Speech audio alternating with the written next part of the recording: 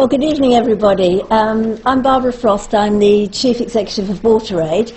Uh, sound check. Can you hear me up the back? Fine. Excellent. Um, well, I'm delighted to be uh, opening this event this evening, um, which is bringing together practitioners, NGOs, academics, and a whole range of people from the world of media to talk about uh, these interlinkages between issues of women, health, sanitation. And it's been titled Making Connections um, because working together, working across sectors, is obviously critical if we're going to see women's empowerment, uh, women's rights, women's livelihoods, an end to violence, good health. And the particular three themes that uh, we're going to focus on this evening are violence against women and girls, reproductive and maternal health, and menstrual hygiene. All areas that have a degree, I'd say, of taboo around them, um, areas that need to be talked about, um, really need uh, practitioners to look at how we can address those, talk about them openly. Um, and I'm delighted that we're also going to be launching in the UK the uh, menstrual hygiene management manual, which was launched last year, but this is the sort of official launch of it here in the UK. Um, I was thinking about this when I was asked if I would open it up, and um, thinking about my own experiences, and I'm sure many of yours. When I visit uh, country programs where WaterAid works, what I hear from the women and girls that we meet and I was in um, Rwanda earlier this year, and I met this wonderful woman called Grace, youngster, teenager at school. And she was telling me about the transformation for her life uh, when there was safe water to drink close to the school because a uh, uh, water collection system had been put in with decent water, and when um, toilets were brought to the school as well with decent facilities so that when she was menstruating, she could change, she could wash. And she was saying that before that, um, the threat to her health was having to collect water from an unsafe source, um, some distance from her school, which meant that she had to miss lessons. She often got sick as a result because the water was not clean. Um, and there was also competition for collection of that water because there were many people at the source. And she was also saying how um, previously, you know, when it was the time of the month, she didn't come to school because there was just nowhere safe for her um, to change. So these issues are so real and they make such a difference um, for women. And so I'm delighted that we've got this wonderful panel um, that are going to comment on the speakers who are going to start off and to give us some, I think, insights into the research that's been done. Um, and then I'm sure to have a very lively debate. Thank you.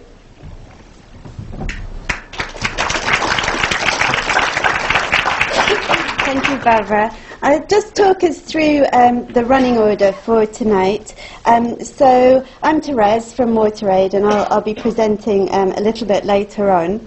Um, but we're starting off with uh, five presentations looking at the three themes um, and an opening presentation from Helen Pankhurst that really weaves those together so that we get to understand those connections from the start. But then we have um, some expert presentations um, from Lori Heise and Wendy Graham, um, and then Rose George will be sharing some experiences and stories of menstrual hygiene, and I'll be talking about the resource book that we're launching here tonight. I'll then be handing over to Rose George, and she's going to uh, facilitate the panel uh, discussion, and we'll invite some questions from the audience at that point. So during the presentations, we won't have time for Q&A after each one, so please do um, save up any issues that you want to raise for that final section. But without any further ado, we've got a lot to get through, so I'm going to hand over to Helen. Thanks, good evening. Um, it's really an honour to be here and to be starting with this overview for the Share Consortium event on women's sanitation and health. And it's great to see so many of you here on a Monday evening giving up your time and, I assume, interested in the issues. So thank you for coming. Um, in her book, The Second Sex, Simone de Beauvoir wrote, or rather the translation of what she wrote was, biological considerations are extremely important. In the history of a woman, they play a part in the first rank and constitute, whoa, an essential. thank you up there. And constitute an essential element in her situation. For the body being the instrument of our grasp upon the world, the world is bound to seem a very different thing when apprehended in one manner or another. And yet, despite knowing how important women's bodies are in their experiences, issues such as menstruation, women's reproductive and maternal health, and violence against women are sensitive and taboo subjects, as Barbara mentioned not talked about and therefore not given the attention that they require. Now, I've been asked to set the scene a bit in terms of um, some of my personal experiences, and I'm very happy to do that. And they start, I guess, with some ethnographic work that I did in the late 80s as part of my PhD thesis in what turned out um, was um, turned into a book called Gender Development and Identity. And um, it starts really with the first time I visited uh, the village, which became my village. Um, and uh, I talked to a young woman, and she took me to her house and to her mother in the hut. And her mother was in bed, and um, the young girl said at the time, Oh, she's got a headache. And Oh, she's got a headache was actually that she had really bad period pains, and I heard about that later and firsthand saw all the difficulties of managing menstruation when you have no pain relief, no, ta- no tampons, no pads, often no pants, no uh, trousers. So, incredibly difficult situations that women bear with day in, day out. And I wrote at the time, this is not the same kind of constraint as childbearing or other obvious and dramatic female burdens. Yet it is in such seemingly insignificant ways that the economic poverty and the conditions of life are particularly wearying. The village had been recently villagized, and that meant that the government was trying to put people into uh, the valleys at the bottom, um, away from their, the hillocks and the hamlets that people used to live in. And now they used to live in those hamlets, smaller numbers, and there weren't latrines, but now they were being moved by the state into the valleys um, below, and still no latrines. So I think there were about 80 households uh, living um, all together. Uh, the houses were built and no latrines, and I lived there for a year.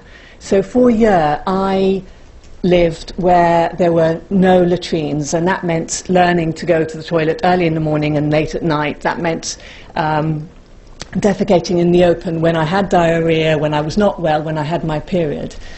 And without any doubt, that experience was the hardest of the year um, in Menz in Northern Shoa, followed very closely by having rather limited water, and in particular limited water for warm water for showers.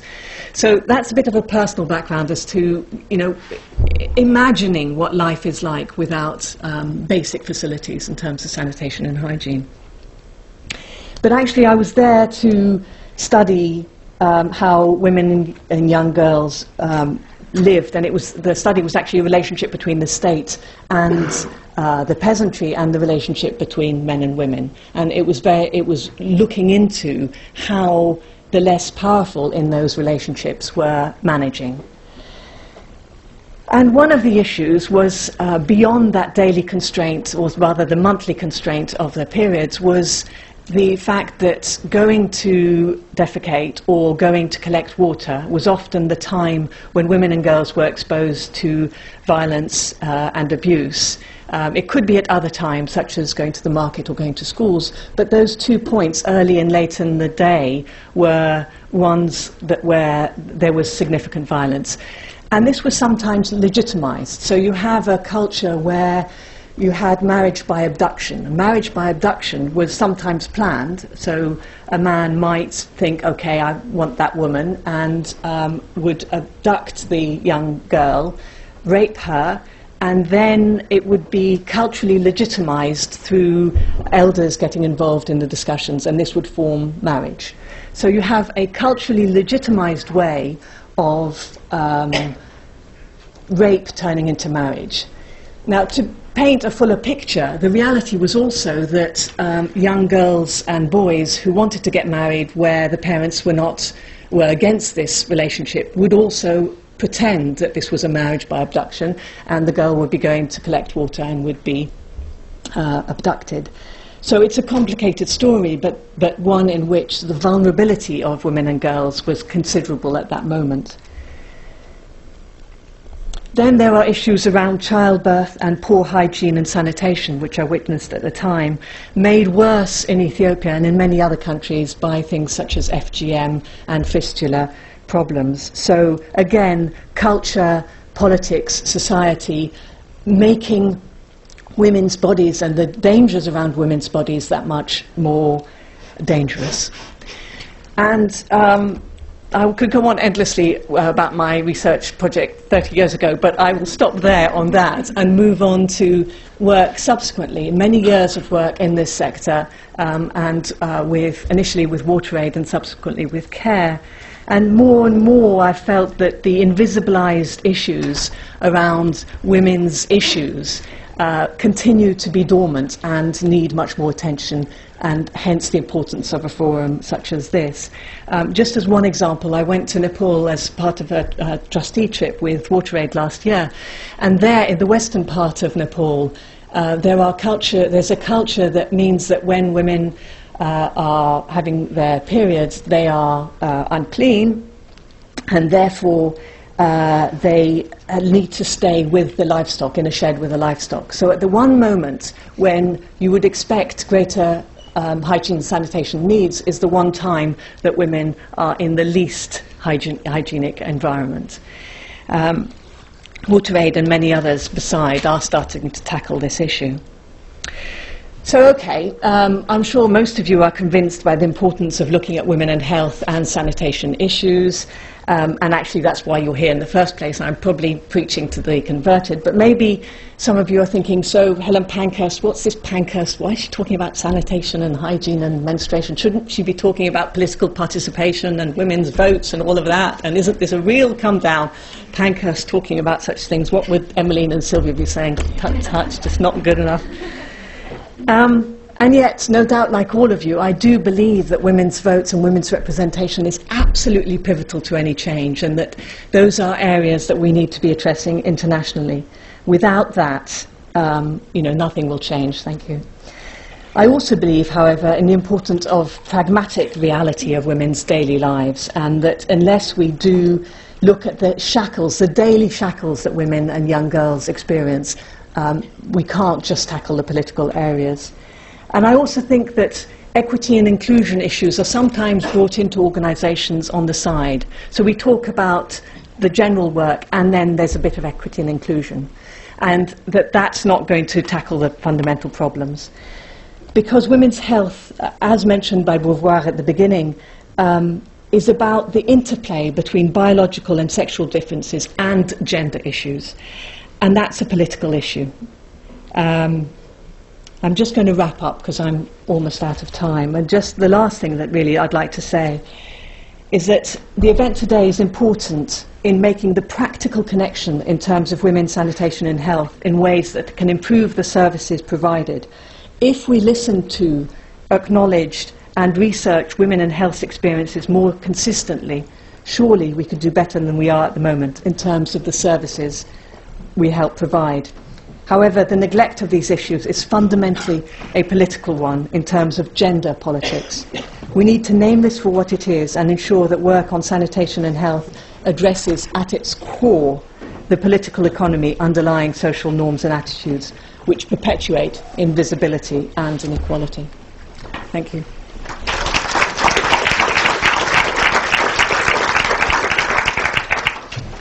Thank you very much, Helen, for sharing those personal experiences, but bringing it to that political um, level as well. Um, I think that's a fantastic introduction, and we're now going to go into more depth um, on the issue of violence against women and the links that has with sanitation. So I will hand over now to Dr. Lori Heise. Um, from London School of Hygiene and Tropical Medicine, who also is Chief Executive of the STRIVE Consortium.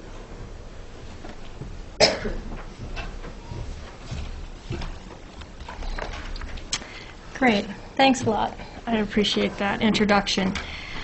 Um, I have to admit, I've worked on the issue of violence against women for over 25 years. And it wasn't until last year when I had the privilege of actually joining up with two master's students and helping to supervise them that I began to think about the issues around the links between sanitation and women's vulnerability to violence. And part of what I'm going to share with you today is the research that uh, they pursued uh, in order to try to begin to get a handle on uh, the links that we see between violence and, and lack of opportunities for proper sanitation for women. Um, first off, I mean, I think we have to acknowledge that sanitation, even though we don't talk about it very much, is, is actually a human rights issue. It's linked to some very fundamental human rights that we acknowledge and work on, um, including sort of right to dignity, right to health, right to privacy, and right to safety. And I think it's this right to safety issue that we haven't really teased out as much as uh, we probably should have.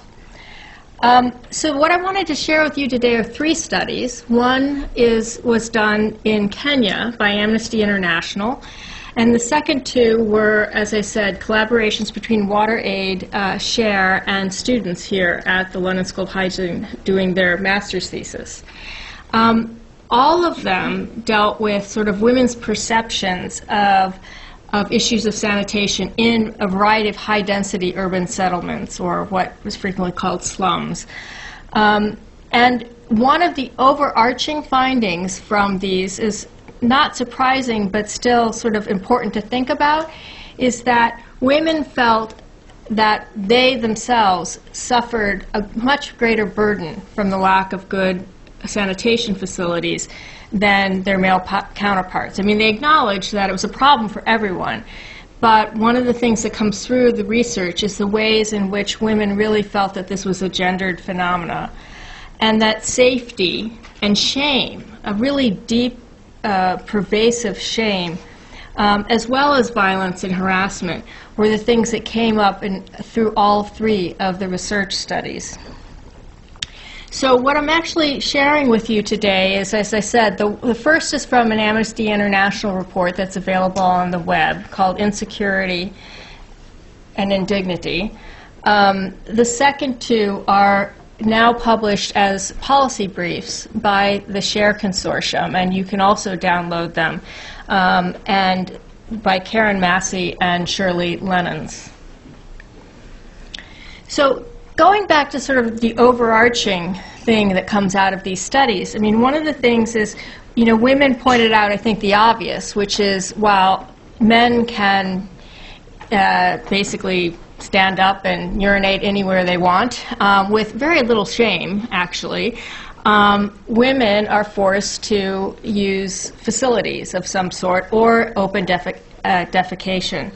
So that right there, there's a built-in sort of biological uh, inequity in terms of the burden of lack of facilities. Um, the women also talked a lot about how because the men left for, to go to work, they were able to, for example, hold it, so to speak. So they could wait until they were out of the shanty town, uh, use facilities outside, use facilities before they came back at night, and therefore were, again, able to somehow, by virtue of their mobility, get around some of the issues.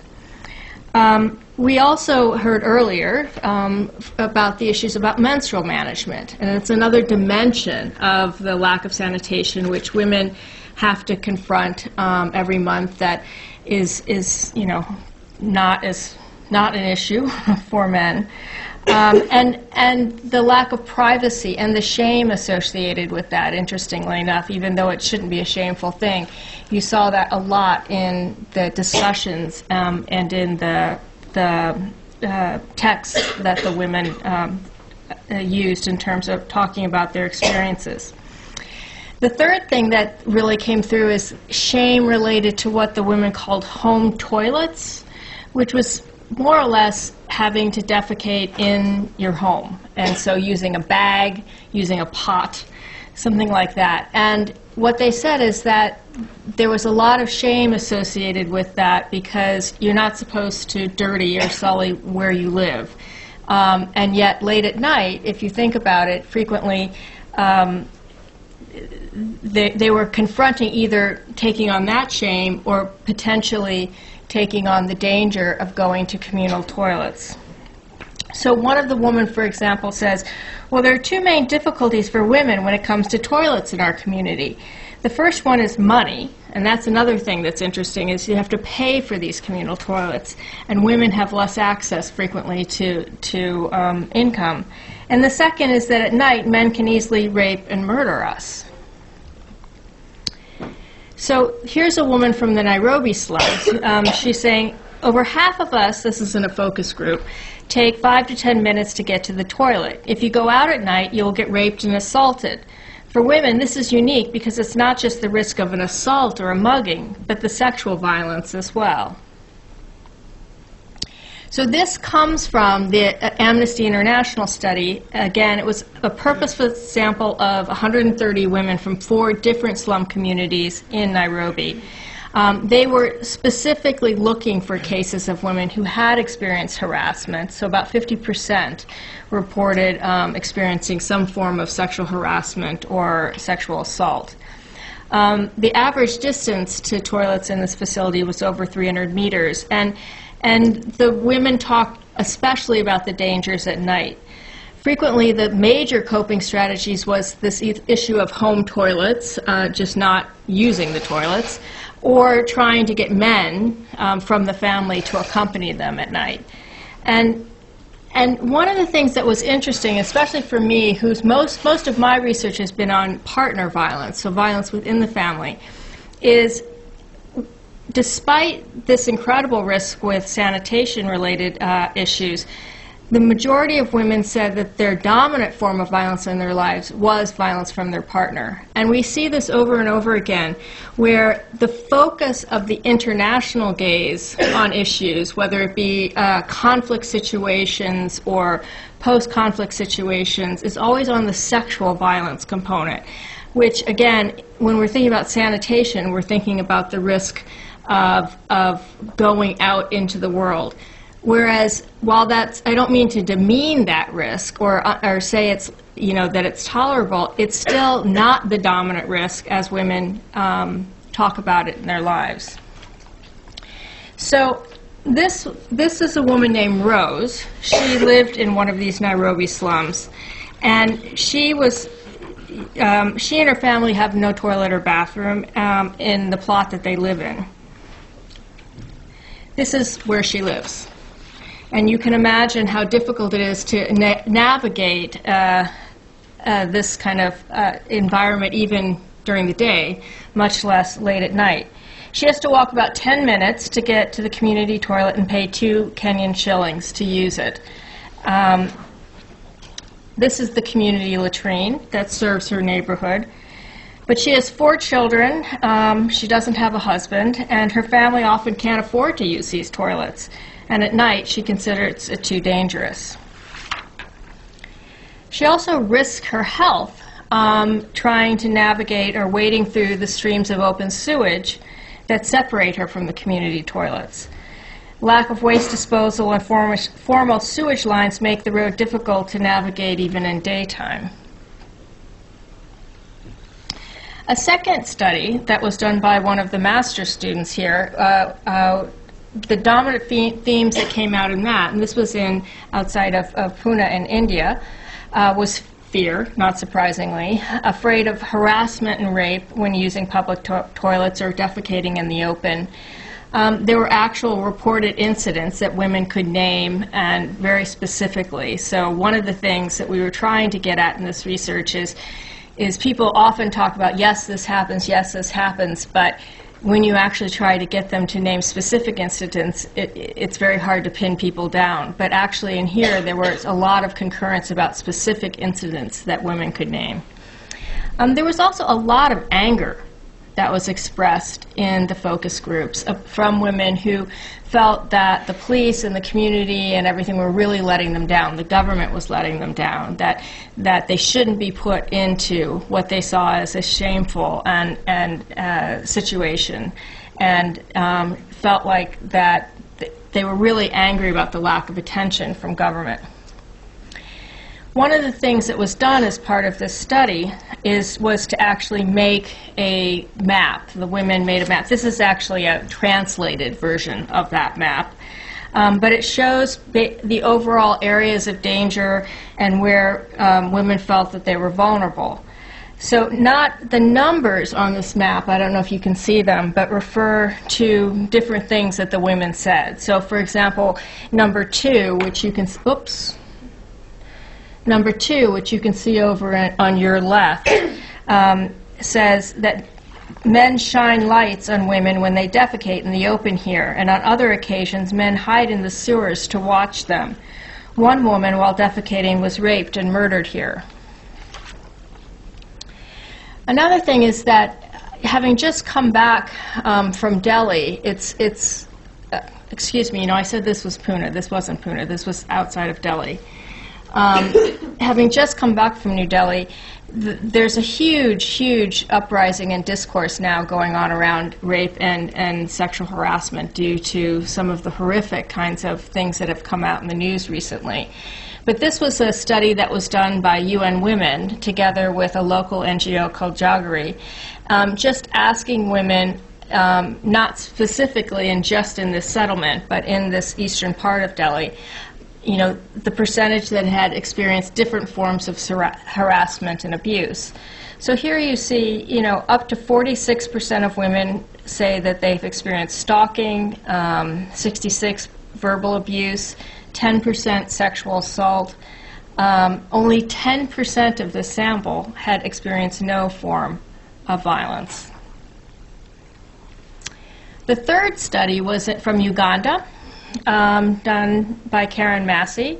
Again, many, many of the same themes that you see. Few toilets, they're poorly maintained, they're locked at night, uh, they're unaffordable, uh, the safety risk of traveling to them, um, and the burden, again, that women felt, oh, I don't know why that happened that way. Uh, didn't do it on top like that when I did it at home. But anyway, the, the you know, the burden that women felt in terms of it falling disproportionately on them. Um, and they've also felt like they had no choice. They could either experience the shame of using home toilets or the shame of going out into the world um, and the danger thereof.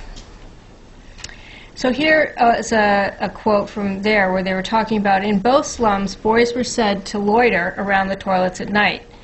In Sundarnagri, there were cases of boys hiding in the cubicles at night waiting to rape those who entered. There were also scared of drug addicts who were said to hide in the toilets at night. So this is just the very, very beginning of starting to look at this issue. I mean, actually, when we went into the literature, there's almost nothing on this issue. Um, and I think that there's a potential role for research both in terms of documenting you know, investigating exposure. Right now, we've only we don't really have a sense of incidence. We don't really have a sense of prevalence of these of of, of this risk in comparison to other risks. Um, we also really have not attempted to measure the effects on women's health or well-being. I think even most, more importantly, though, was the potential of action research and some of the types of things that you can do to try to identify solutions. And in all of the cases, um, they did talk to the women and also talk to local NGOs and WaterAid and other affiliates about what the women felt um, would help. And, and a lot of the times that involved getting themselves involved in the sanitation issue. Um, so uh, I think we have a huge task ahead of us, and I'll leave you with that. I do just want to, oops. I just want to acknowledge um, that I'm presenting actually someone else's research, and a special thanks to Oliver Cummings um, from SHARE, who shared some of his slides with me. Thank you.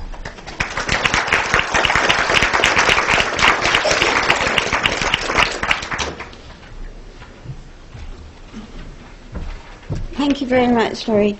Um, yeah, I think that really struck the, the reality of the physical violence that women face, but also the physical and psychological abuse um, associated with stigma that creates this situation where it's culturally acceptable. Um, and the commonalities across countries, I think, just raise this as a real issue that's um, prevalent.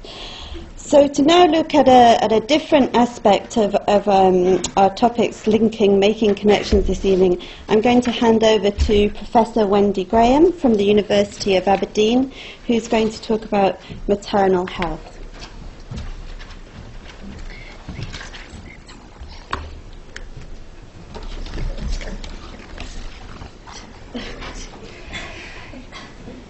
Yes.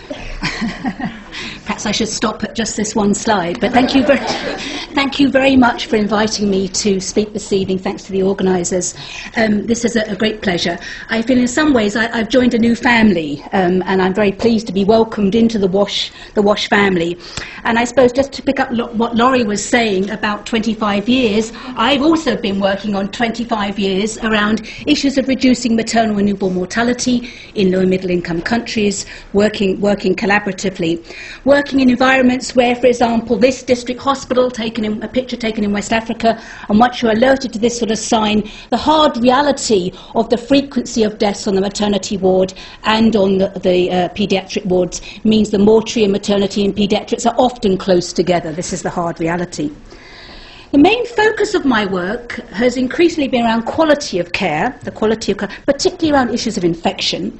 And it's quite interesting how, again, rather like Lori is saying, rather late in the day, I've come to make or think about the link with water and sanitation. And I think there is an issue about why do some of these issues that we work on for a very long while we don't make those connections, and obviously this meeting is trying to make those sorts of connections, but some of us do have, if not blind spots, the way that we work or the fields that we're in mean that we don't necessarily look across, and, and so I, I have a, a, similar admission.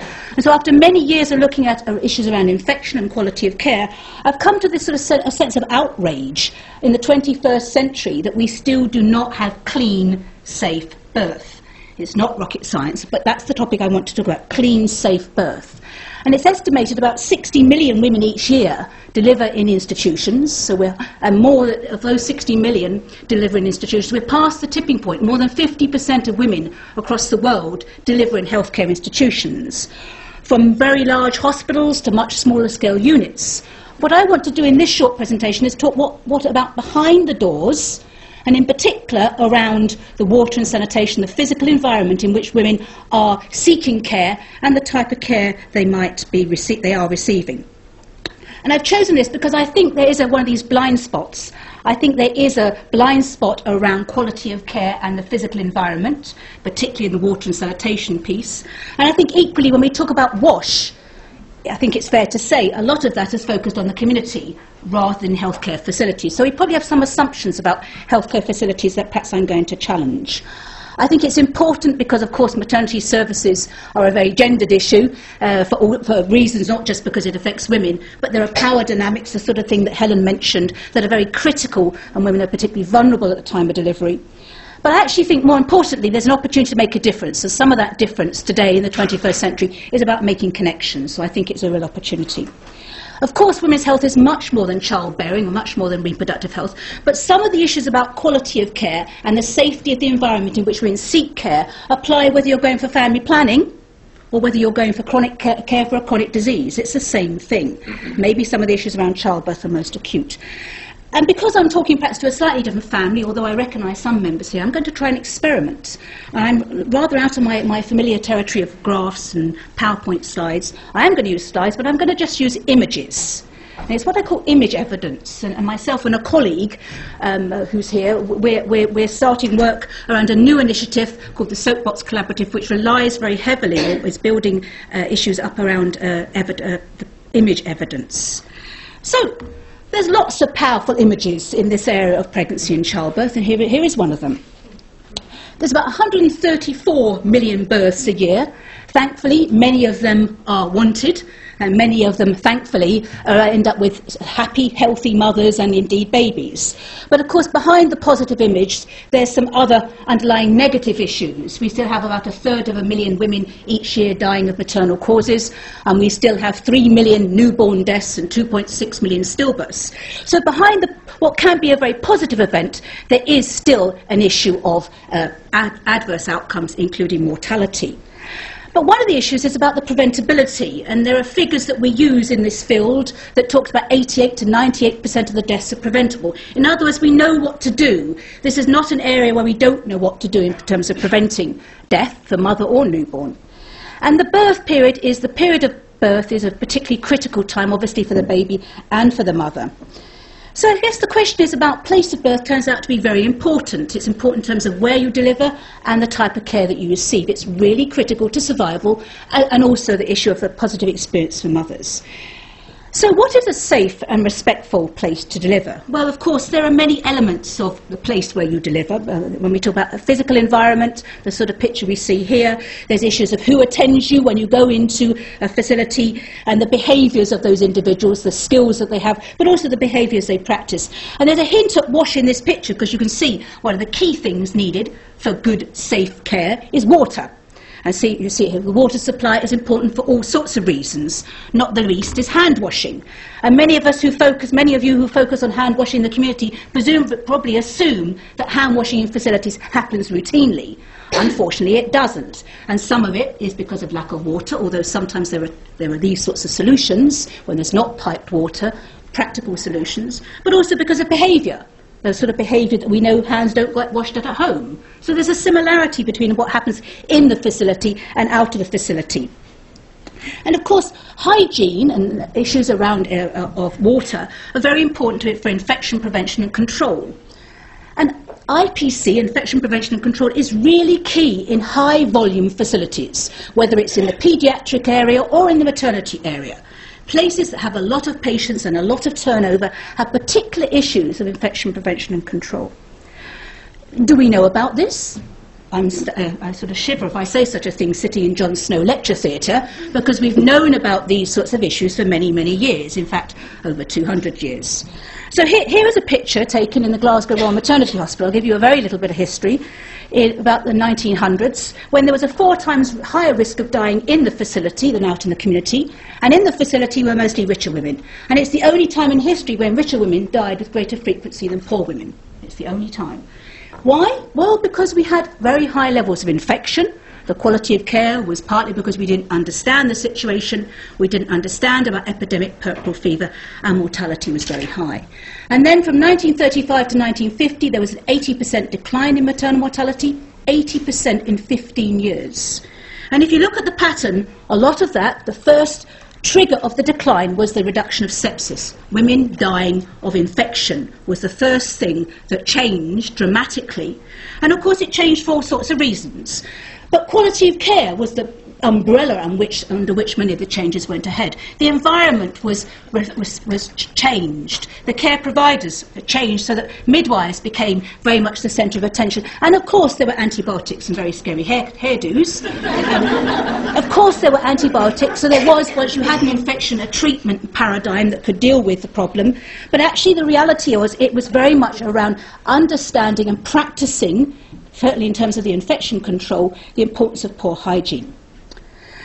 So, ending up with what we think today women centred care. Women centred care with the midwife as the lead provider. And some people in the UK would think we've gone backwards in some of our issues around the UK. So, one of the things I want us to move on to is to look at to what extent, what is the situation we think about, have any of these practices now been applied in a lower middle income country?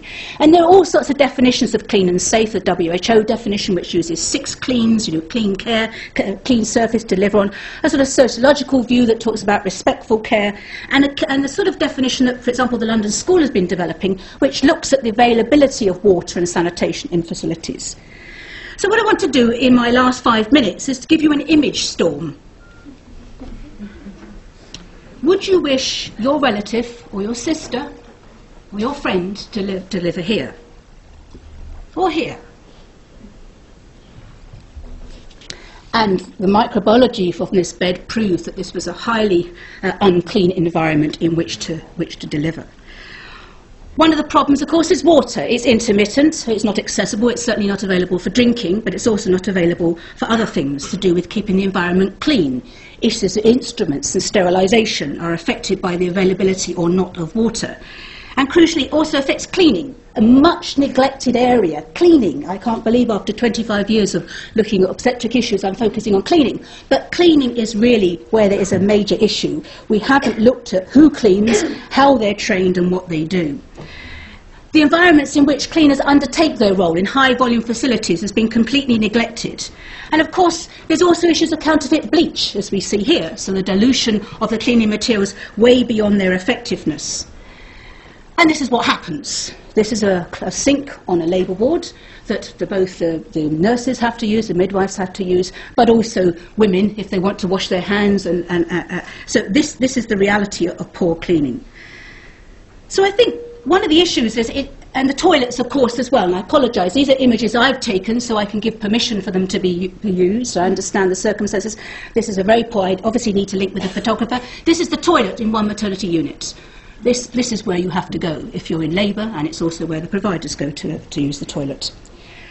But I guess the question is it doesn't need to be like this. It can be like this. And I think that's the thing that really strikes me as we go between different areas, is that you can see 200 metres apart or in the same town a facility providing good, respectful, clean care with the same resource base as some which is providing disrespectful care. And I think that's the issue that we've got to get at. Why is it it's not just an issue of lack of resources. It is an issue that is very deep, and I think we're, we're not really, we're not really uh, understanding well enough. So it can be the sort of environment like this, with good equipment, access to equipment. The sort of it's not high, particularly high tech, but it does have uh, equipment that could deal with complications. There are solutions for water shortage of water supply. There's no doubt about it. It is possible to have a tank like this. And also where there is difficulties and need for greater infection prevention and control, access to gloves, of course. And sinks can indeed look like this. They don't have to look. I mean, these pictures taken in very similar types of environments. Why is it that some are good and some not so good? And the toilets. I mean, these aren't the same toilet cubicle, actually, I have to say. It's the way I've configured the photographs. But it just goes to show, in environments, it is possible to provide a level of sanitation, okay? Some of us would still say this is not uh, as clean as we would wish it to be. But otherwise, there are opportunities for change, and this is not all about resources. So I think in terms of change, I think one of the things I would like to see is I would like to see some of the WASH communities that work so well out in the community linking up with issues around in the facilities. There's a great body of experience of communities being very effective. Can we work with those communities, those committees, the WASH committees like here? We need to think about taking women with us, of course. Women understanding about the importance of cleanliness and feeling they have an entitlement to good, clean delivery. And of course, there's the providers as well. It's not as if providers wish to work in disgusting environments. Many that are trained in good asepsis then suddenly find they're working in very poor quality environments, and there is plenty of evidence to suggest if you put someone in a poor environment, their practice, their standards will go down. Do we ever learn? Do, do we ever learn? So I would like to see more connections, the sort of thing, if you look at, I don't know if you can see in my, I'm not a photographer as you can, as gathered, but if you can see from this picture taken in Bangladesh, groups are working together. We have WaterAid here and Oxfam. We need some more joined up thinking around addressing the uh, issues within healthcare facilities as well. Institutional delivery is on the increase, and so the question is we need to be prepared. High volume facilities, like, for example, this one, are not the sort of environments that we should be incentivising or indeed expecting women to go into. We need to prepare ourselves. It's not that we should be discouraging women from going, but we have to get our house in order. Our house in order, and clearly water and sanitation is, is one very key area. This type of situation should simply not exist. I mean, outrage, whatever word you want to use. This is not the sort of place that should exist in the 21st century. It makes a huge difference at all levels in terms of health outcomes, but also disrespectfulness for the provider as well as, as for women. So another picture, another picture, these pictures that I take that show mortality next to uh, the maternity, mortuary next to the maternity ward, they exist in so many places. And this one has the MOP in the background. It's a, this is a major referral hospital where the standard infrastructure is extremely poor. And at the top of the picture, it talks about people getting loans to pay for the care. So there are powerful images when you start looking at healthcare infrastructure. I think WASH has been neglected in healthcare facilities, and I think the quality of care teams have rather overlooked or rather forgotten the importance of the physical environment and ensuring it's improved. I think there's a lot of opportunity for direct collaboration between the groups who are already effective in the community around WASH, but of course there is an evidence base still to be built. We still lack some types of data, but particularly we need an evidence base around behaviour change. Why is it and how is it that some places and some individuals rise above the situation of poor resources and provide good, clean care? What, it, what, it, what is it about that behaviour change element? So as I said at the beginning, I mean, this is this. I'm in a sli- I'm in a different world, well, a slightly different world, as it were, in terms of linking up and creating with others a new charity called the Soapbox Collaborative. We have a very small stand outside, and what this is wanting to do is to address this issue of off the radar screen around clean birth particularly uh, uh clean birth, uh, of course, clean birth and facilities, and to raise awareness that this is something that we can do about those sorts of pictures I've shown you should not exist in the 21st century. So I very much look forward to making more connections around this theme in the rest of the, uh, this evening's uh, event. Thank you.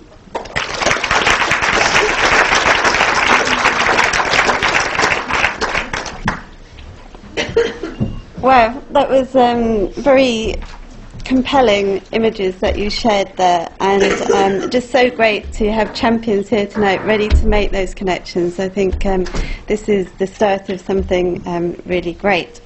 So, um, just moving on to our final theme for the presentations, um, you know, menstrual, menstruation is a natural reproductive process essential for life, um, but the way that it impacts on the lives of women and girls means that they're not actually able to continue with their lives in a normal way during that time. So, to share some stories um, and really bring those issues to life, I'd like to invite Rose George, who um, you may know but is an author, journalist, and sanitation activist. So.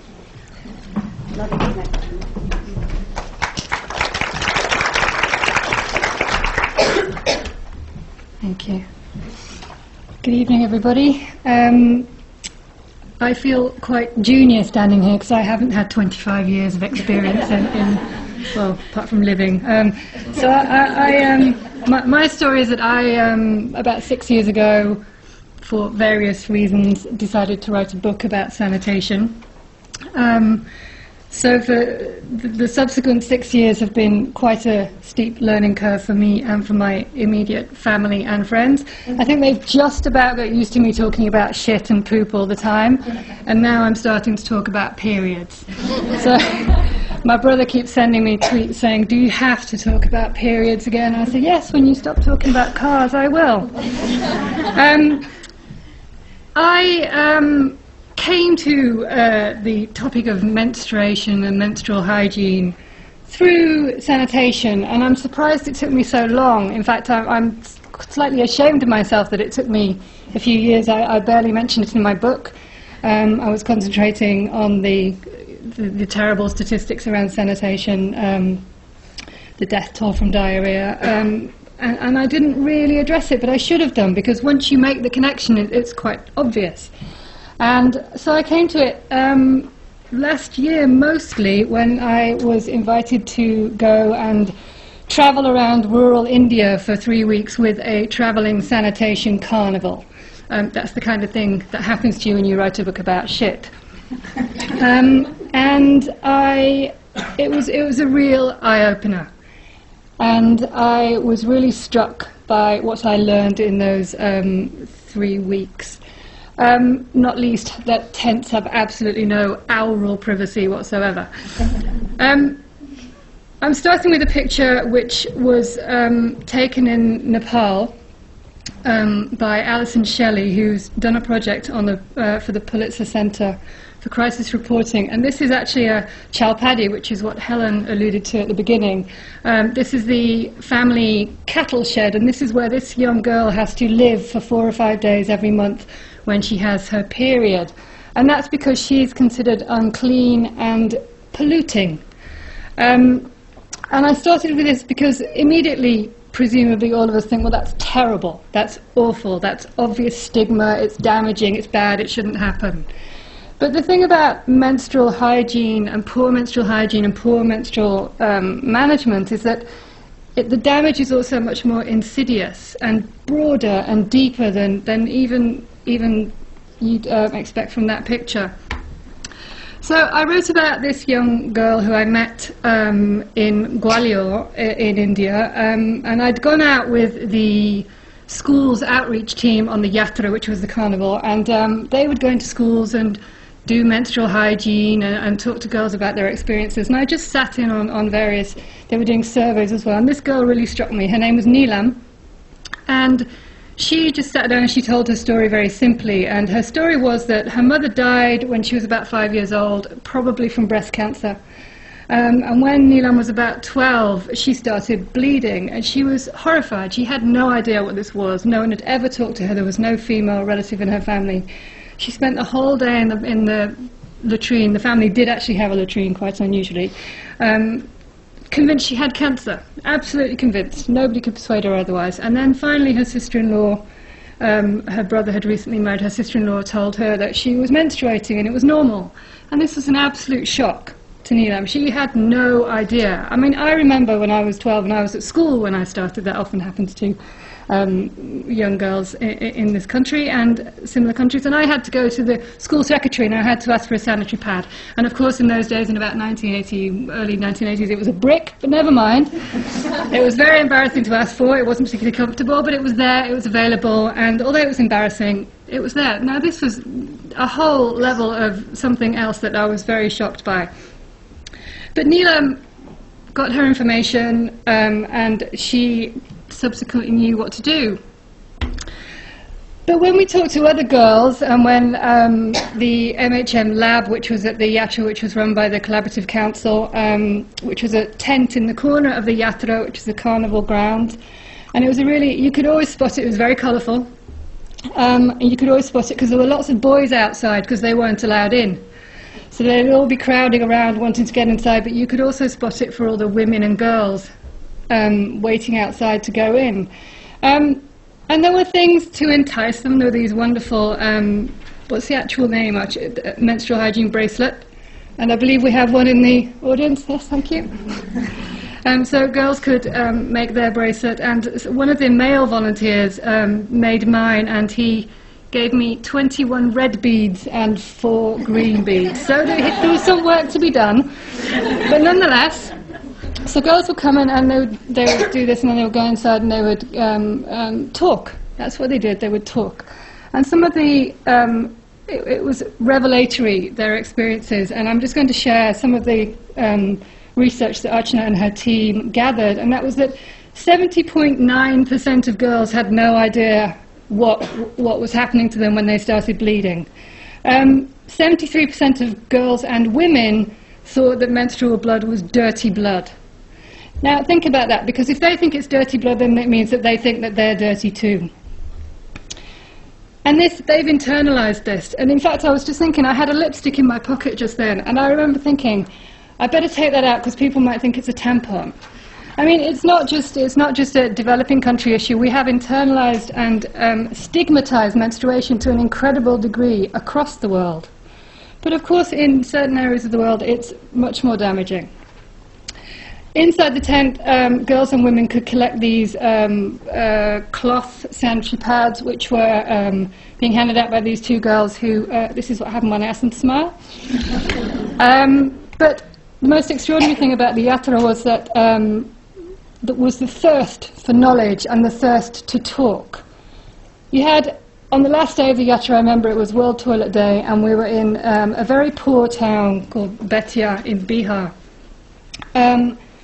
And we thought, uh, most of us expected that no one would turn up because it was a state holiday. It was described to me as pretty much akin to Christmas. So you think the last people, the last thing people would want to do was come to a sanitation carnival and queue up and talk about um, periods? So this is what happened on Christmas. This is all the girls and women queuing up to come into the Yatra because they were so thirsty for knowledge and information and communication. And I think we've heard that we need more communication, we need to talk more openly about this.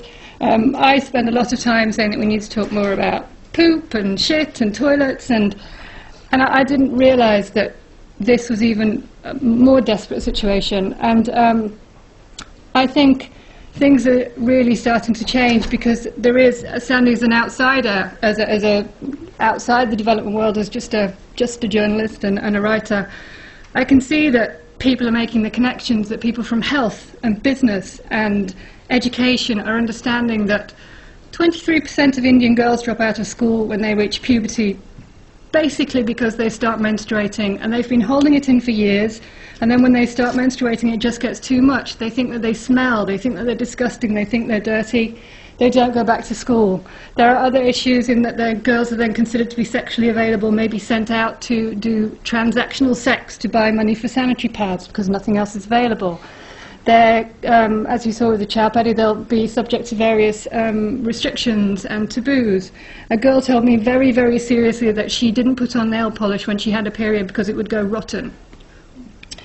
So this, um, and, and the solution to this, I think, is very simple, is, is, is more openness, and that means between sectors, it means between various fields and specialisms in development, but it also means from people like me, and um, from talking about it in the media, from talking about it openly, from not worrying whether a lipstick looks like a tampon in your pocket, and simple things like that, and I think we are at the beginning of really big change, and I think it's really exciting, and this event is a great start and a spark. Thank you.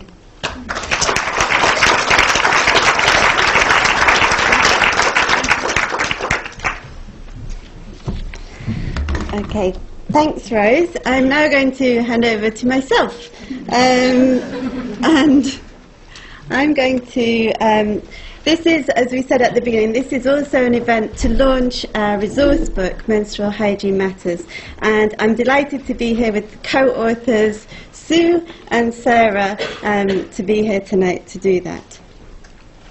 And this, um, this publication, um, and we'll have copies downstairs to share and for you to look at, is the output from an ongoing collaboration between WaterAid and Share on menstrual hygiene.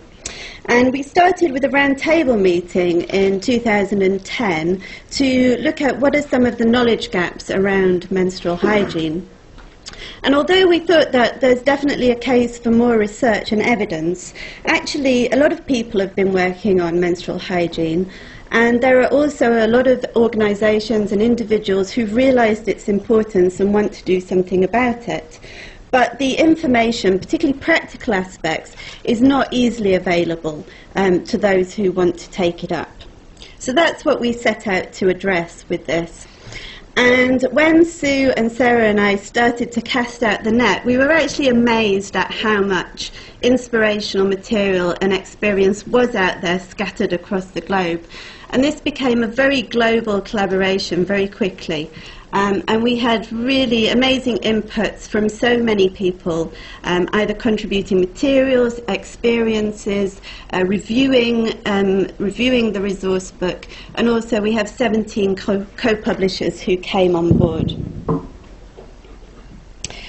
So what we have is a very comprehensive book. Um, it's, it's quite a substantial publication, but it's set out in modules, so you don't have to read it cover to cover. Um, there are nine modules, and the first two consist of introductory information, so the basics about menstruation, about menstrual hygiene. Um, menstrual hygiene and health. And the second one is how we can get started on this. Um, what are the interventions that are possible at different levels and by different sectors? And how can we build the competence and confidence of people to actually take up this issue in the first place? We then look at menstrual hygiene interventions and what are the possibilities in different settings. So we look at um, menstrual hygiene in the community, at school, in emergency contexts, working with women and girls in particularly vulnerable situations, and research and advocacy on menstrual hygiene. And then for each module, there's an accompanying toolkit which has a lot more in-depth information as well, uh, technical designs and so on. So I just want to talk a little bit more in depth on some of the information that's contained in the resource book and that which is particularly relevant to this evening's event. So the challenges um, that you can understand here from the quotes, very um, similar, as I say, common experiences across countries and cultures to those that have already been raised by Rose and others this evening. But I think, as well as thinking about the personal experiences of women and girls, these also highlight um, the importance of the issue to us as WASH professionals or to gender, uh, to the gender sector, and how it impacts on our work. So the first one, again, raises the issue Helen mentioned, which is during menstruation, women and girls may not actually use facilities even if they've been provided because of the stigma and taboos around it. And the second one relates to the practice of chhaupadi, and it, it highlights again the physical and psychological risks um, that women and girls are open to because of the stigma and taboos. These two quotes as well really um, highlight some of the experiences of girls at school and the importance not just of facilities but of having information and support in place um, so that girls um, experience, have a positive experience of school and don't need to, um, don't need to leave during menstruation. Now, we also looked at the links between menstrual hygiene and health. And this is something that's often um, cited, but on which there's very little um, evidence, particularly um, the links between menstrual hygiene or poor menstrual hygiene and the risk of infection, reproductive tract infections, urinary tract infections. But there is a very plausible link during menstruation that the risk might be higher um, because the, the mucus that covers the cervix um, dissolves during menstruation to allow the blood out. So if women are unable to use clean materials, or they're having to reuse materials, or they don't know the, the way to use pads, for example, inserting them, then um, the risk of infection could be higher. But as I said, not um, a significant amount of clinical evidence about that. But it's also important that um, women and girls have accurate information, that we have accurate information to provide to them, because actually you find there are myths as well abounding.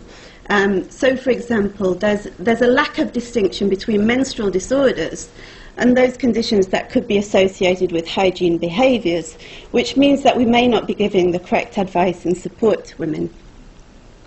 And I think it's been made very clear this evening that we're not just talking about physical health, but we're also talking about social and mental well-being.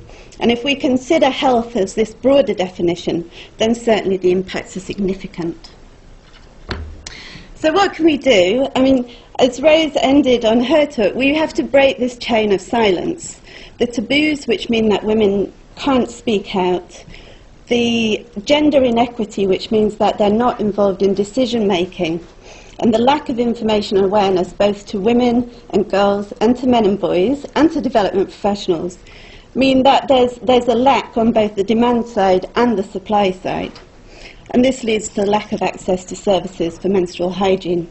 So I would, I would concur with Rose. The first step is really breaking the silence and not just encouraging women and, women and girls to talk about this, but also men and boys. And when we've had this sort of um, this sort of event, we find men are very willing and interested to talk about this too. So just to set out what we what we mean by good menstrual hygiene, what that requires. As I said, it's not only about facilities, it's about having appropriate and affordable materials, it's about information, and we also need to consider the disposal of materials. And again, as we've seen tonight, there's a role for different sectors to play in this. There are clear links with WASH, clear links with health and education and gender empowerment. And there's also a role for the private sector, both as employers to ensure that menstrual hygiene facilities are available at work so women can lead healthy and productive lives, um, and also as providers of services. We need to engage with them more. But just to talk a little bit more about the social protection se- sector, we also really need to think about women and girls in more marginalised and vulnerable circumstances. So, if we think about women and girls with disabilities, those with HIV, AIDS, um, those who have undergone female genital cutting or fistula, if we think about women and girls in disaster scenarios, um, or those living on the street, then they certainly have additional needs and face additional challenges and require further support. So we need to work together with those agencies who can reach out to them and engage women and girls in those situations as well. So we amassed an, an awful amount of information, but we also noticed that there were some further information gaps, and these are just a few um, that we hope um, work together with us on. But it's actually very encouraging to note that there's so much happening on this now. And I think this quote really just sums up where we want to get to with menstrual hygiene and tackling, tackling this.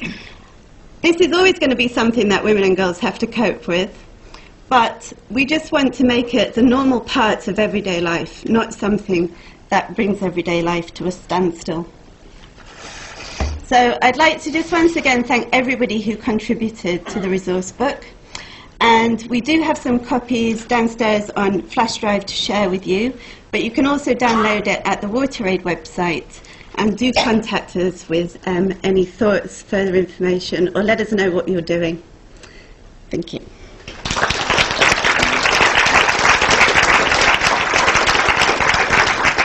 So, switching back I would now like to invite our panellists to join us at the front, and I'll hand back to Rose, who's now going to take us through the second part of this evening.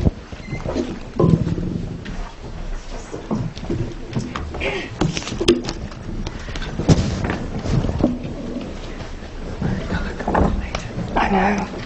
Deliberate.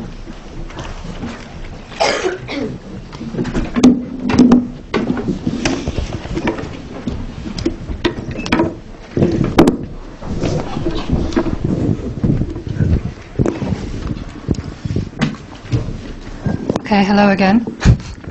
Um, so we have a distinguished panel who um, I'm going to invite each of the panel members to introduce themselves succinctly.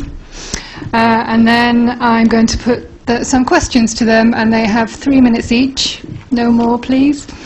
Um, and then we're going to put the questions to the floor uh, for about 15 minutes. So um, we have these two mics. So shall we start with Simon? No. Hello, I'm Simon Bibby, and I'm a water sanitation and hygiene advisor at D- DFID. Hello everyone, I'm Archana Patkar and I'm Program Manager Networking and Knowledge Management, the Water Supply and Sanitation Collaborative Council in Geneva. Hello, I'm Sanjay Wijesekera um, and I'm the Chief of WASH at, at UNICEF.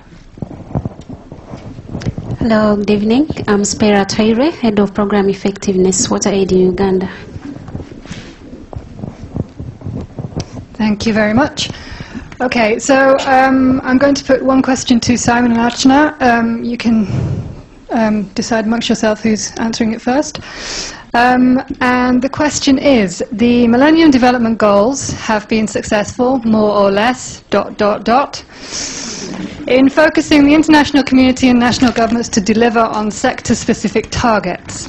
But to some extent, they have also compa- compartmentalized issues and sectors and silos. I'll add that bit. As we've heard, the challenges faced by women and girls from all the presentations we've heard this are multidimensional and complex and can cross such lines. So, Simon and Archana, reflecting on the presentations and your experience, what opportunities do the current discussions on the post-2015 development agenda provide to promote intersectoral approaches to address gender inequities relating to women's rights, sanitation and health? Thank you very much. Nice, easy question to start with. um, I, I, think uh, quite encouraging news coming back from Bali, and the high level panel there is, is obviously very, very committed to um, attacking and tackling uh, gender inequities. And uh, I think there's a, a, very strong desire to, uh, to really build on um, MDG3 and to, uh, and to really start to ensure that gender equity and empowerment of, of girls and women is a reality. So I think uh, what we, the message that's coming through is, is very much that there, there will be, or there will certainly be a lot of pressure to have a standalone goal to, to promote that. But then all important, I think, to this discussion is to have that cross-cutting, mainstreamed issue of, of making sure that uh, key gender issues are being addressed right across the sector. And I think uh, some of the very eloquent images that we've seen there in terms of, of ensuring that uh, uh, wash facilities, for example, are available in clinics, that wash facilities are available in schools, that uh, there is the linkage between the community and the schools, that there is the linkage between the community, the schools, and the health service centre. Um, I was recently in Sierra Leone where the, the program there actually is run out of, a, of an office that that links around MDG delivery. So there's actually an attempt to uh, provide services in the different uh, areas and trying to work them together. So that, that is quite encouraging. And I think that, from, from certainly from a DFID point of view, that is definitely the way forward, is to try and bring a much more um, integrated way of working. It might not be pure integration, but it's more of a convergent cooperation partnership between the different sectors to try and get uh, to build those those synergies as far as possible. So I, I, I personally believe that there is quite a lot of encouraging moves to have uh, gender inequities um, addressed through a much more integrated way of working. But of course, there's lots of different um, elements of the post 2015 agenda which are in um, action as we speak. We've got the Sustainable Development Goals being developed, we've got the Millennium Development Goals, we've got several different um, fora which are discussing these. So it's going to be quite a challenge to build that consensus. And I think uh, there's a, there are people in this room who've got a role in that process, and I think we we urge them to to take that on and uh, and, and build the consensus. Um, I think these are really exciting times. Uh, when I think back um, more than 20 years ago, um, and I did dare to talk about menstruation and menstrual hygiene more than 20 years ago, and people would just, whether it was um, in India or Bangladesh or in West Africa, people would just listen with respect. Um, in other parts of the world, not in India necessarily, and um, just go on with the conversation. Um, you know, and um, in India, people would usually say, oh, there are much more important things for us to worry about. And then, of course, um, talking to wash professionals also very often, um, the, the, the response was, oh, we have such a big job, you know, to even get sanitation on the agenda. Let's not worry about menstruation. And, of course, my response always would be, well, you wouldn't be saying that if you're a woman. If you are a woman and you're saying that, then really, let's think again about what sanitation means. Um, I think it's very exciting to be here, but also to hear across the world um, what was a silent, stigmatized issue coming to the fore, because I do believe, and we've heard it um, said many times today, that the first step is to break the silence and to break the taboos. Uh, the market will respond automatically, like it always does when there's demand.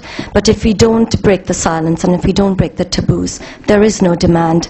And we can't continue delivering wash services uh, without listening to the silent demand, making it kind of center stage, helping it to be articulated.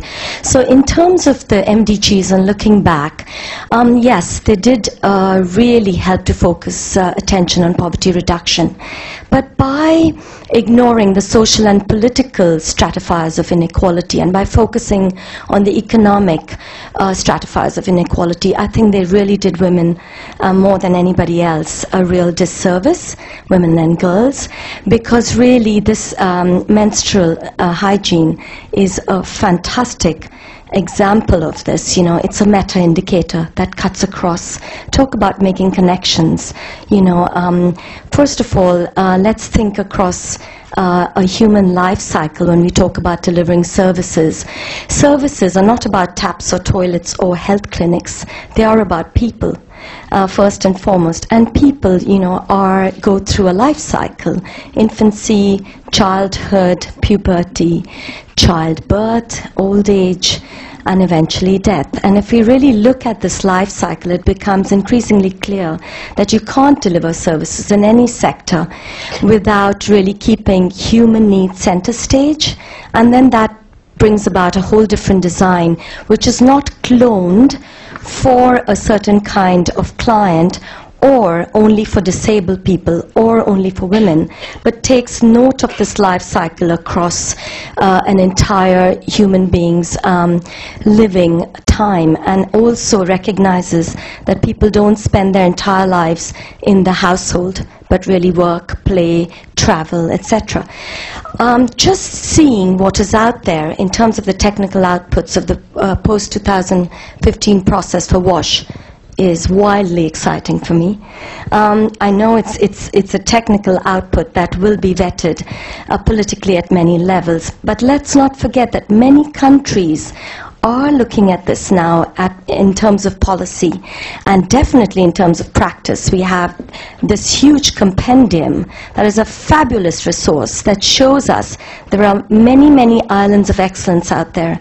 It's for us now to take that together with the movement on the policy front and bring it all together to coalesce really around women's rights. And I can't think of a better meta indicator for um, equality and gender than menstrual hygiene management across sectors.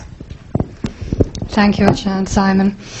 Um, over to Sanjay. So, reflecting on the importance of um, addressing these issues in the light of the presentations and your own experience um, of addressing these issues with children and adolescents, boys and girls, um, to address both the practical needs and the stigma, taboos and inequalities. What are successful approaches? What is needed to institutionalize them? Thank you. Thank you. And I noticed Simon got the easy question. Yeah, okay.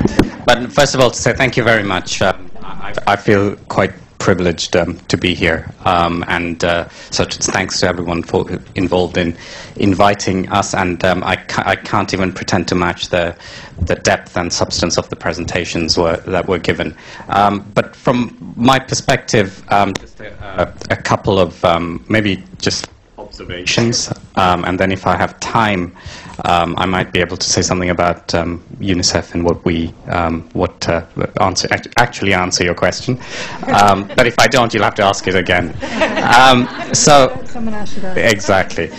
Um, the, uh, just a couple of, uh, the, in terms of the observations that, that struck me whilst I was listening to the presentations was one, one is around um, a visit um, I had of one of the largest um, hygiene programs um, in the world, I guess, the, the Shewa B program in, in Bangladesh uh, with the Bangladesh government. Um, and uh, one of the elements in that is a peri-urban um, element where there are adolescent uh, groups of adolescent girls in, in, in different peri-urban areas who develop plans um, if you like, community action plans, but who prioritize plans on what in their communities um, should uh, should improve and can be changed, and what they can do to, to, to make those changes.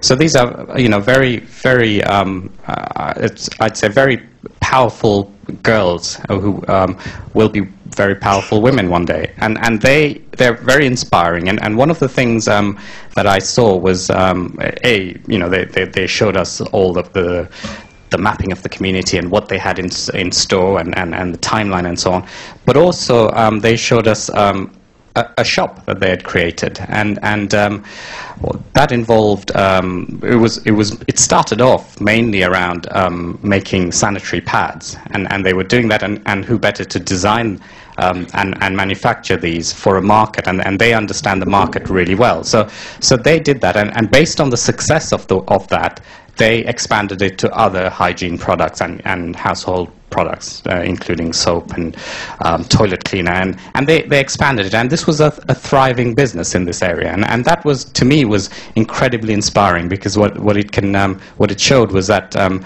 you know, that these girls were able to take this with, with very little help and very low unit cost, Simon. I'm you'd be happy to hear. Um, they were able to make transformational change, so not just um, delivering services, but, but actually making it um, much, uh, much wider in terms of empowerment.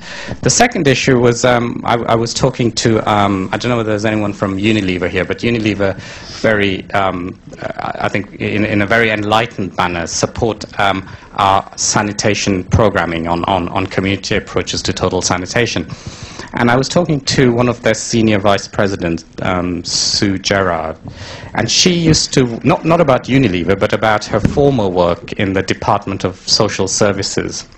And she was a senior manager in DSS. And most of us, uh, or I did at least, just think DSS just give uh, pensions and, and, and handouts and so on. But what they actually are dealing with is um, long term and deep poverty in the UK. Um, and we went, uh, we had this conversation about dignity and, and you know, the, the, the, kind of benefits of sanitation on both saving lives but also on dignity and how that's very difficult to measure. And what, to cut a long story short, what she told me was that um, dignity or self-respect is one of the biggest indicators of whether somebody who loses a job will actually um, get back into the workforce. So it's one of the key things in the UK that you would target in terms of public policy if, if you want to address long-term unemployment.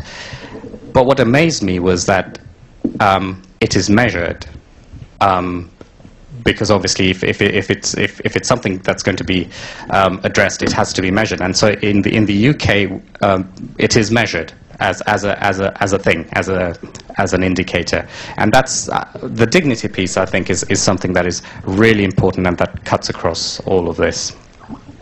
I'm sorry, I'm going to we're going to have I'll to leave come back to UNICEF a mystery later. at the moment. Um, sorry to cut you off. Um, last question is to uh, Spera on one end and Wendy at the other. Very good logistics. um, I'll start with Spera. So um, the question is, we work with limited resources um, and often in resource poor context, contexts, and we need to make choices on key priorities. What is the key priority? Working collaboratively, however, usually means more complexity and more time. So, again, reflecting on the presentations and on your experience, what are the incentives you see in your work for putting in this additional effort? What evidence do we need to convince others that the extra time and complexity is worth the effort. Thank you, Rose, and uh, I appreciate the opportunity to come here and uh, share my experience. I'll start off by mentioning that um, really coming together to address um, some of these issues that are under, underlying in our society and that affect WASH and other services that we deliver, really by mandate uh, organizations, governments, and uh, multinational organizations uh, expected to really uh, work on them. And then, of course, the global call to action requires that there is more collaboration and they need to come together and utilize the limited resources uh, to deliver more efficiently. Uh, but most importantly, as we've shared here in the presentations, we realize that a lot of experience exists a lot of uh, solutions ex exist, but maybe making them work uh, in different contexts is what is missing. So organizations need to come together and share these experiences, share the learning.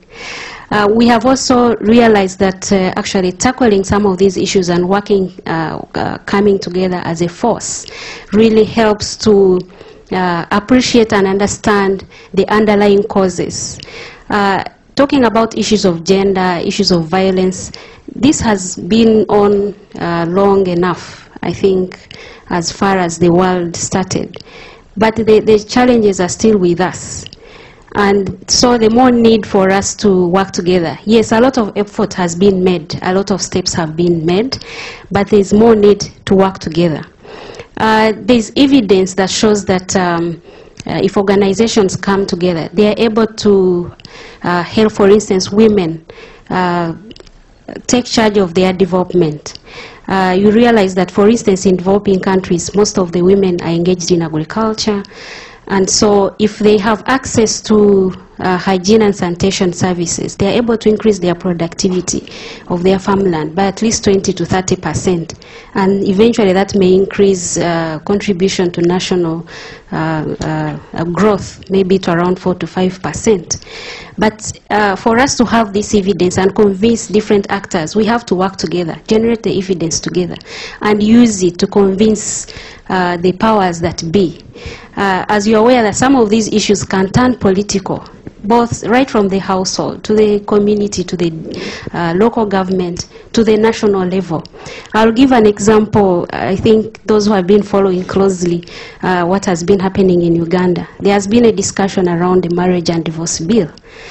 Uh, but it has been thrown out. It has been in discussion for the last 40 years. Uh, but because it had some contentious issues around poverty, uh, around property rights, around uh, rights within the marriage, within the home.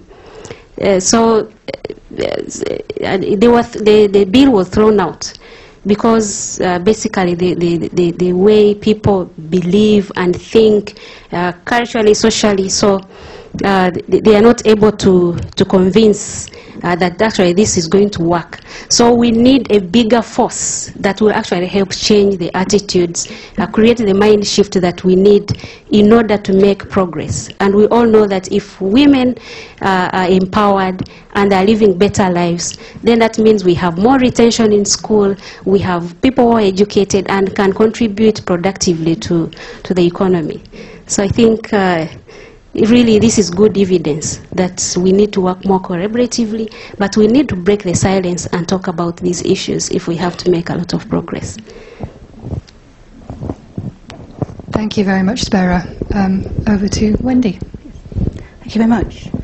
Um, yes, the, the, question about incentives to work together. I mean, I mean, at one level, it seems sort of seems to me it's sort of what you might call blindingly obvious, I suppose, is that we can't do it alone. And I think it's interesting. Both Lori and I had come after years of, of working in a particular field of realising that actually there's a gap and, and, that there are others working in parallel tracks. And so I think I think one of the incentives is, is this sort of self-realisation that you can't do it alone. But I think that comes from where you're trying to go. If you're trying to make a difference, it's thinking about the outcomes that you're trying to impact upon that really encourage you to think about making the collaboration. Um, I think another incentive is, is recognising that solutions will be better, as it were, if you work collaboratively in terms of more creativity, more cross-learning, and I think there's a huge opportunity for more cross-learning between, between areas to end up with what I might call non-naive interventions. I mean, how many times have we seen all are saying there's no magic bullet, but seeing something being tried as a very naive single intervention that is simply not going to work because it hasn't joined up with the other areas that are necessary, be that behaviour change or be that the environment in which change is necessary. I think there are other incentives, uh, other areas, uh, uh, incentives in terms of very pragmatic. I mean, we have shortage of resources. We can go further if we pool, and that's both technical resources and financial resources. I mean, I, I know of some great projects where people have got further by pooling, by pooling. So I think there's a real pragmatism involved. And I think actually, I think at the end of the day, there's also a fun element to it. Uh, when, you, when you're challenged by others that are coming from a different mindset, when they challenge your thinking, uh, they give you also skills. So I think at lots of levels, the four issues, self-realization that you can't do it alone, we end up with better solutions if we collaborate, and that's also something we have to recognise. There's a win-win from linking up um, in terms of sharing resources, and I think we have to recognise the creativity that comes and the fun that can come from collaborating. I guess my last point is I think we need, and as I look at the, the lovely young faces here, I do think we need to think about the role of training institutions, because my sense is, I mean, I'm too late for this, as it were. I've hybridised. I've gone into other areas as I've gone through the career because opportunities I've been given. We need to create a, a generation of hybrids that move between the spaces of academic research, as it were, and action research, the move between the NGO sector and the academic sector. We need more individuals that enable us to collaborate, because when you get to a certain age, it's much harder. If we build a generation of individuals that move between spaces, I think we're going to be in a better place in a few years' time. Thank you very much, and thank you to all panelists for their um, wonderful contributions. We have, I think, 10 minutes um, for questions. If anybody has any questions, we have some roving microphones. Um, could you please introduce yourselves, and if, if your question is for a particular panelist, do let us know. Thank you. Hi, I'm Katie Fitzpatrick. I'm a PhD student from Cambridge. Um, I'm not directing this question towards anyone in particular, but a more general question of how do we get boys and men involved? I mean, it's an obvious question, but for any step we make for women in terms of empowering themselves, it could be a, step taken back if they encounter boys or men who have myths about menstruation, who have really negative attitudes about menstruation. So, how do we engage with them in breaking the silence? Thanks. Okay, well, let's ask the men.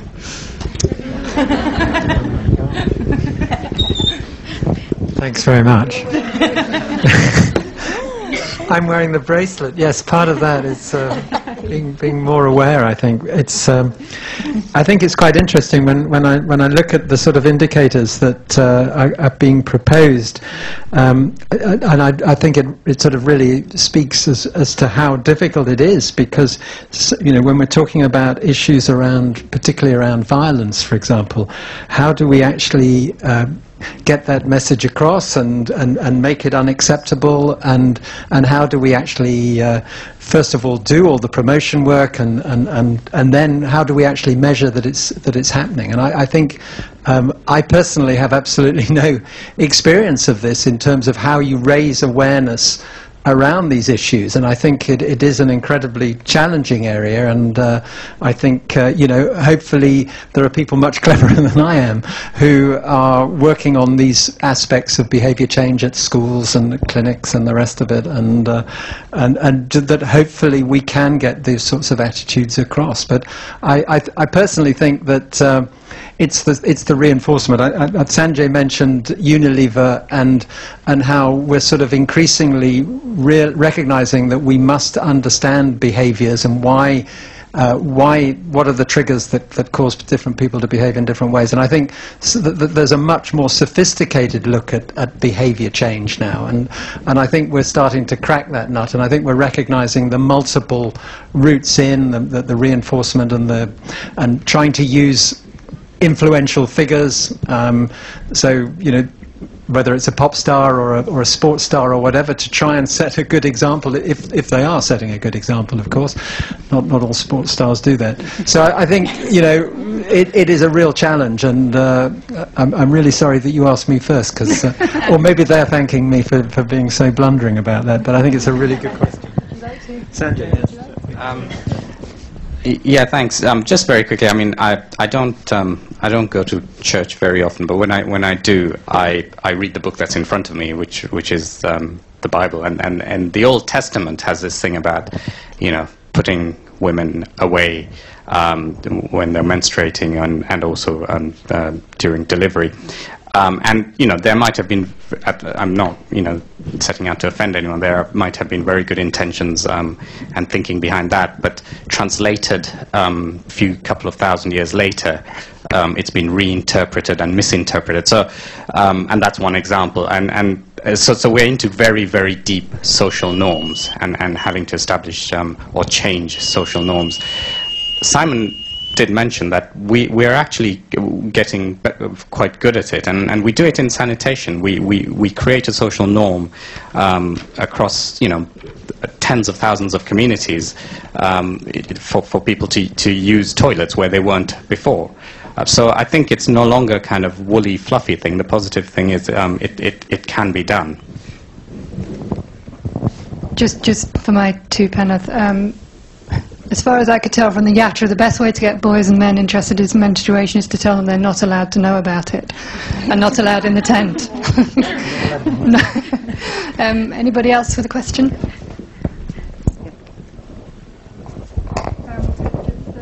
Oh, sorry, you've got the microphone. We'll come to you It's next. actually a comment rather than a question. Oh, okay. Okay. um, okay, no, thanks very much for the, the brilliant presentations and comments, and it's very exciting to be talking about the linkages and how to engage um, men and boys, but also women and girls in these very difficult issues. I just wanted to let everyone be aware of another piece of research that's um, ongoing at the moment relating to gender-based violence and WASH, um, which has followed on from some of the presentations and issues that were found uh, were presented today. Um, we're trying to develop, um, funded by the Share, uh, the Share Consortium, um, being undertaken by WaterAid, um, we're undertaking research to try and develop a tool a toolkit for practitioners to try and understand better the linkages between sanitation and, and sanit sorry, sanitation, gender-based violence, sanitation, or water sanitation, hygiene, gender-based violence, and what we can do better uh, to try and reduce the risks, and then also what we can do when um, gender-based violence actually occurs. So we're trying to make linkages with the protection sector um, in the sort of development um, of these guidelines. So if you're interested, there is a handout downstairs, so please um, pick it up. We'll be really uh, happy to hear from you. Thank you. Thanks very much. Um, just before we come to your question, just uh, Archana would like 10 seconds to introduce another important piece of research? Um, it's just uh, I'm aware that there, there we are with a lot of share partners here, and the topic is making connections and share and um, DFID funded share and also DFID funds us. Um, we've come together to uh, collaborate on a, a, piece of research on women and health, which looks at four different areas, uh, really linked to psychosocial stress. Many of the issues raised today, including vulnerability and really uh, increased vulnerability as a result of poor sanitation uh, services, but also uh, looking to make the connection and deepen the, the evidence on the linkages between MHM and infection or poor health, and lastly also the links with violence. So looking to share that and make the connections even further. Thank you very much. Um, this is the, it's going to be the final question as we're a bit out of time. Okay, I'll, I'll keep it very quick then. Thank you. Um, I just wanted to ask because it seems to me that menstruation, what menstruation is, is it's part of a cycle. It's the fertility cycle. And I was just wondering, I wanted to ask panelists if they were aware, and I don't know how many women in the aware, that, that a woman from adolescence to the menopause can track her fertility every day. And it seems to me that an important part of this whole area is educating boys and girls from their first period to say that this is your fertility, you're fertile. And there's a global program called Teen Star which does this. And the boys, but particularly the women, when they come out of this program, they understand their fertility and they understand every day they can know, am I fertile today or am I not fertile? They say that is empowering. And it has a maturing effect on the boys as well, because they realize they don't have a fertility cycle, they're just in a straight line. and I just wonder, the question is, are panelists aware of this? Because I really think I, you know, I, I, defer to you on hygiene absolutely and all the rest of it, but I'm just wondering if this is something that's come in to all these organisations thinking, because I, I worry that it hasn't.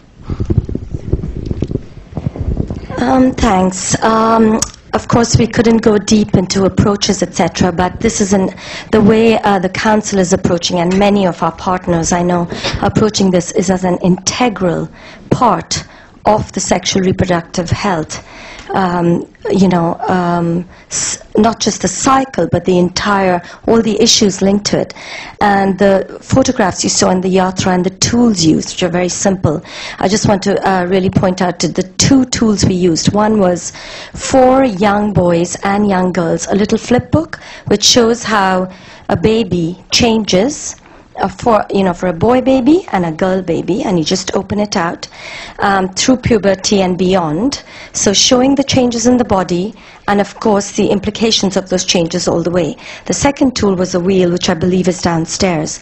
You can look at it, which is again the sexual reproductive health uh, cycle and menstruation and where it fits in there. But the issue really was about how do you bring something that is responsible for perpetuating the human race, really, you know, out of, the out of shame and silence into, the, um, into a sphere and a space where there is pride. Sorry.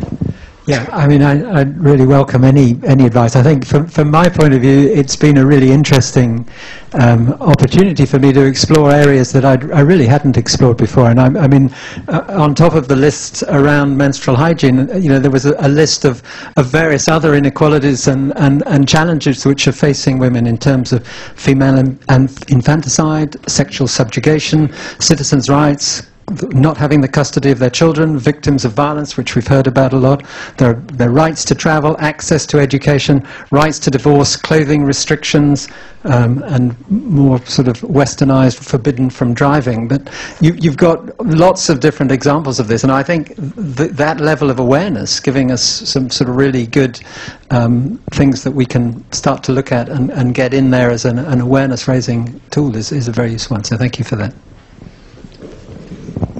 Thank you very much. Very briefly, Sanjay, please, because we are out of time. Thank you.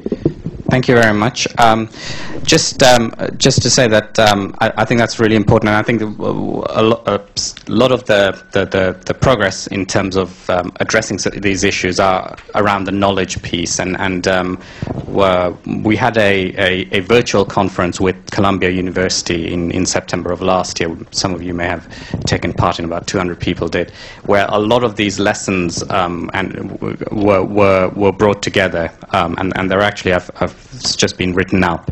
Um, and it, I, I, was just reading through it uh, coming here, um, and, and it's fascinating, and it's from uh, at least 14 countries of both the kind of problems and the attitudes, but also some of the solutions that um, people have um, people have deployed. So, from our perspective, um, from UNICEF's perspective, which is also what I was going to say, you know, we're going to invest a lot in the knowledge piece of this, in learning the kind of uh, both in understanding it, but also learning the kind of approaches that that work and that deliver results, and also, of course, in, in supporting whatever coalitions of, of action there are um, on these issues. Thank you.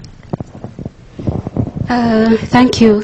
I'm not necessarily aware of that initiative you're talking about, but uh, in our menstrual hygiene work, especially in schools, uh, that is largely emphasized away from the traditional way of taking away girls and uh, maybe working with uh, with a uh, head woman or senior woman teacher, but actually discussing menstrual hygiene issues in class, and they are part of the curriculum, and they have school health clubs where they discuss uh, menstrual hygiene issues openly, and uh, also the school administration is is uh, is involved, and they actually engaging parents to make sure that they actually provide for their girls with pads. Uh, in some of our urban work in Kampala, uh, the, the, requirement is that even boys actually contribute pads in school, so they are aware and they know that it is going to contribute to improved um, uh, sanitation and hygiene in school. So we are integrating all that, and uh, it's part of, of the training uh, as part of reproductive health in, in science subjects. Okay, thank you very much. Sorry not to bring you in again, Wendy. Um, thanks for the questions. Thank you to the panelists. And I'm going to hand over now to Helen, who is going to wrap up. So I've got the unenviable task of summarising all of that as briefly as I can. Um, it seems to me that the first point that's been made is the need to break the silence. That's what we're all here for. It's part of a process and it's much needed. And the second is talking across differences, across different sectors, across the academic, the policy influence, the implementing organisations. It's talking across the organisations that focus on women and those that focus on adolescent boys and men more generally, so that we have that discourse across differences. And then it seems to me that a lot of what we've said is that there are practical solutions. There are obvious things that can be done. There are toolkits, there are guides, there are practical facilities, there are materials. But absolutely pivotal and fundamentally, it's also about tackling norms, political issues, power dimensions, and we have to have a language of how to allow that conversation that I started off with to happen. And that will only happen if we, in parallel with doing the practical things, look at the issues that are about voice and about power. Um, it's, it's, and, and, and if we do all of that, we will get transformation. We will get transformational change. One last set of words that I think were used earlier. We want non-naive interventions. And non-naive interventions will only be brought about through this kind of hybrid approach, again, using the words that we were uh, mentioned earlier. So thank you very much. I think there's a lot of very powerful things happening here. We need to bring them together and continue the work.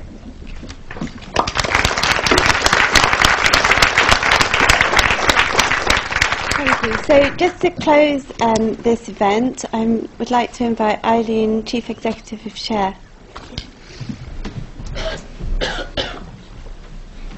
Thank you, Thérèse.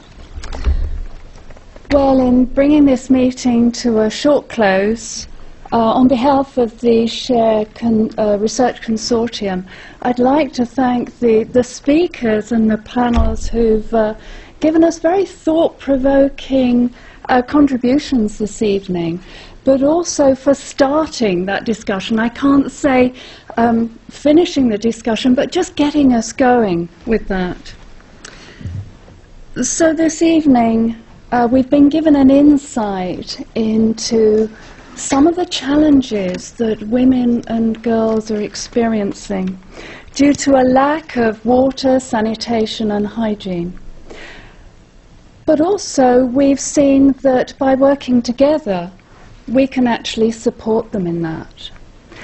So, I'd like to bring the meeting to a close, thank all of you for attending and invite you to uh, join us for drinks and nibbles in, on the lower ground floor, to have a look at some of the maternal health materials that are on display, and to pick up that conversation, make those uh, connections, and uh, to enjoy the rest of your evening here. Thank you very much.